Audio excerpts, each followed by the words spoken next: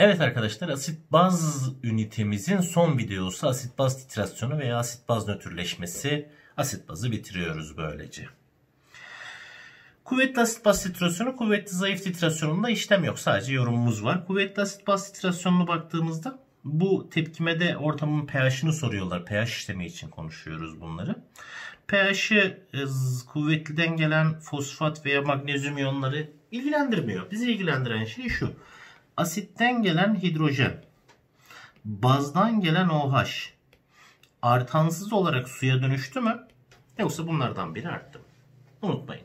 Bir asit baz tepkimesinde sizi ilgilendiren şey budur. Hidrojen ve OH artansız olarak tepkimeye girdi mi girmedi mi? Artansız olarak tepkimeye girdiyse tam nötrleşmedir pH 7'dir. Eğer girmediyse asitten veya bazdan artan varsa buna göre asitten artan varsa pH'i, bazdan artan varsa pOH'ı hesaplar soruya devam ederiz. Dolayısıyla bir soruda sana lazım olan şey hidrojenin molü ve OH'ın molüdür. Hidrojenin molünü eğer asidin molaritesiyle hesaplıyorsan önce molarite ile hacmi çarparsın bu sana molü verir. Daha sonra asidin tesir değerliği yani hidrojen sayısıyla çarparsın ki hidrojeni bulasın. Ancak pH ile hesaplarsan unutma pH tesir değerliğiyle çarpılmış halidir. pH'tan bulduğun molariteyi direkt asidin hacmiyle çarparsın. Aynı şeyi OH için yaptın. 3 durum söz konusu. Eğer hidrojen OH'tan büyükse hidrojenden artan vardır. Hidrojenin molünden OH'ın molünü çıkarır. Toplam hacme bölersin. Bu sana artan hidrojenin molaritesini verir. Eğer OH hidrojenden büyükse OH'tan artan vardır. O zaman OH'ın molünden hidrojenin molünü çıkarıp toplam hacme bölersin. Bu sana artan OH'ı verir. İkisi birbirine eşitse e o zaman pH 7'dir. 3 durum. Hatta 2 durum bakın 2 durum. Nasıl 2 durum? Eğer hidrojenle OH birbirine eşitse pH 7. Eğer biri büyükse büyükten küçüğü çıkar. Toplam hacme böl o sana büyük olanın derişimini veriyor. Asitle bazı karıştırdıysan adı titrasyon da olsa, adı nötrleşme de olsa, adı başka bir şey de olsa eğer ikisi de kuvvetliyse ve hesaplama soruyorsa, pH, pOH soruyorsa iki durum var. Eşitse pH 7, biri büyükse büyükten küçüğü çıkar toplam hacme böl. Hadi bakalım. Bir tablomuz var. 5 tane soruyu bir tabloda özetledik. Pratik olarak hemen hemen her durumu görmeniz için. Diyor ki 08200 HCl ile hemen hidrojenin molünü bulayım. 0,8 çarpı 0,2 çarpı hidrojen klorürün tesir değerliği 1 olduğu için 0,16. OH kaç vermiş? 0,2 molar 300 mililitre NaOH 0,06. Kim büyük? Hidrojen.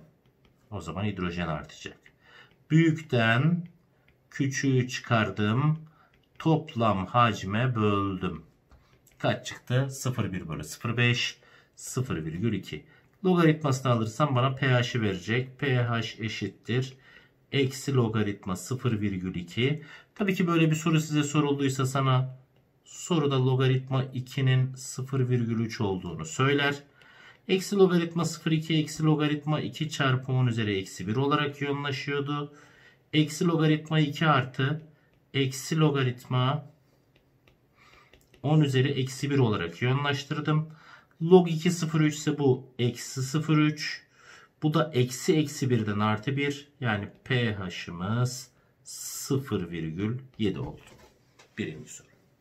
Hemen ikinci soruya bakalım. İkinci soruda bize ne diyor? Şöyle biraz küçültelim. Şuradan soruyu yukarıya yazalım. Daha sonra çözümünü yaparız. 0,1 molar 100 mililitre H2SO4'müş. Hemen hidrojeni hesaplıyorum. Hidrojen 0,1 molar 100 mililitre H2SO4 dikkat edin 2 hidrojen var. Yani 0,02 mol.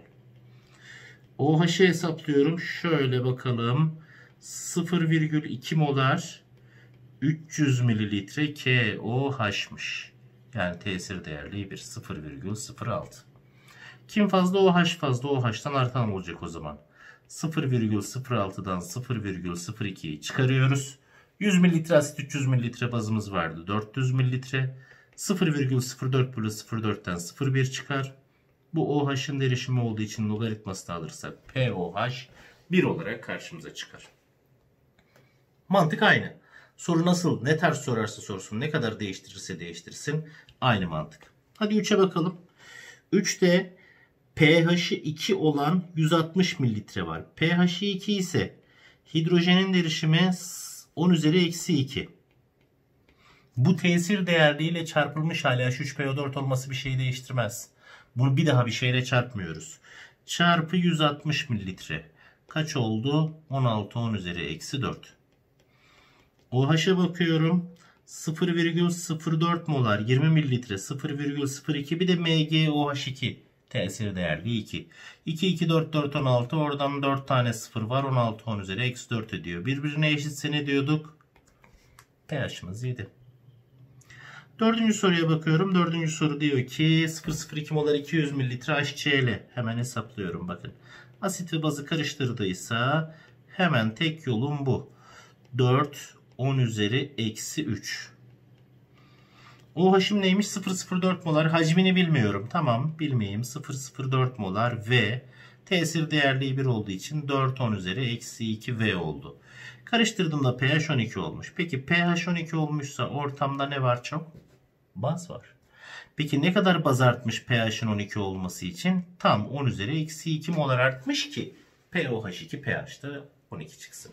O zaman OH'tan hidrojeni çıkarıp toplam hacme böleceğim. Bunu da 10 üzeri eksi 2'ye eşitleyeceğim. Hemen yapıyorum. OH'tan 4 10 üzeri eksi 2V'den hidrojeni 4 10 üzeri eksi 3'ü çıkardım. Toplam hacme böldüm 200 mililitre artı V. Her iki tarafın payını yüzde çarparsak daha sonra içler dışlar çarpımı yaptığımda 0,2 artı V eşittir. 4V eksi 0,4 kalır. 0,6 3V V eşittir 0,2 yani 200 mililitre olarak karşıma çıkar. Bir sonraki soru 0,1 molar 100 mililitre formülünü bilmediğim bir asit kullanmışım. Asidin formülünü soruyor. Tabi bu sorular seçenekli sorularda asidin formülünü sormaz. Asidin tesir değerliğini sorar. Tesir değerliğini bulduktan sonra şıklarda ne dersin? 1 ise 1 olan, 2 ise 2 olan vesaire diye. Hadi yapalım. Hidrojenin molü 0,1 çarpı 0,1 çarpı asidin tesir değerliği 0,01x. OH'ın molü 0,2 çarpı 0,3 çarpı 1 0,06. Karıştırdığımızda pH 13 ise biraz önce söylediğimiz sebeplerle POH'ın 1 yani OH'ın 10 üzeri eksi 1 olması gerekir. O zaman OH'tan hidrojeni çıkarıp toplam hacme böleceğim. Hemen 10 üzeri eksi 1 eşittir. Ee, OH 0,06 hidrojen 0,01x bölü toplam hacmi 100 300 daha 400 0,04 alır. Yüzde çarparsak 4 eşittir 6 eksi x olur. x eşittir 2 olur. İki değerlikli bir asitimizmiş. Yani örneğin H2SO4'müş. Anlaştık değil mi? Birkaç örnek daha çözeceğiz tabii ki. Ancak temel mantığımız hep bu ister grafik, ister titrasyon, ister nötrleşme. Ne sorarsa sorsun. 3 durum var.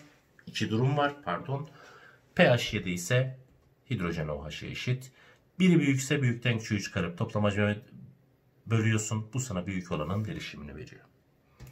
0,1 molar 2 litreyi nötrleştirmek için nötrleştirmek hidrojen OH'a eşit 0,1 çarpı 2 eşittir 0,4 çarpı V. Tabii bitti. Virgüller gitti. 2 bölü 4, 1 bölü 2, 0,5 litre alacakmışız. Nötrleştirmek için pardon hepsini karıştırdık kaç çıkar diyor. Hemen hidrojenin molünü bakıyorum. 0,2 çarpı 0,2. OH'ın molüne bakıyorum. 0,1 çarpı 0,3. 0,04 0,03. Kim büyük çıktı? Hidrojen. Demek ki hidrojenden artan var. Ne yapacaktım? Hidrojenin molünden OH'ın molünü çıkar.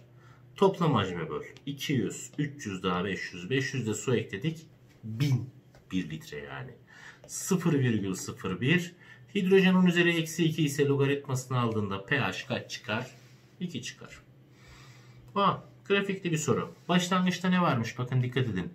Başlangıçta pH 7'nin altında asit varmış. Bunun üzerine baz ilave etmişsin. Peki en kolay yol ne zaman nötrleşmiş? 80 ilave ettiğinde. Asidin derişimi bana soruyor. X.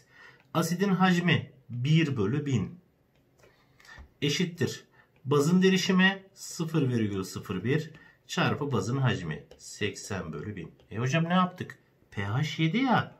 Hidrojenin molü OH'ın molüne eşit yaptım. Asidin molaritesini asidin hacmiyle bazın molaritesini bazın hacmiyle çarptım. İkisinde tesir değerliği bir çünkü birbirine eşit olması lazım.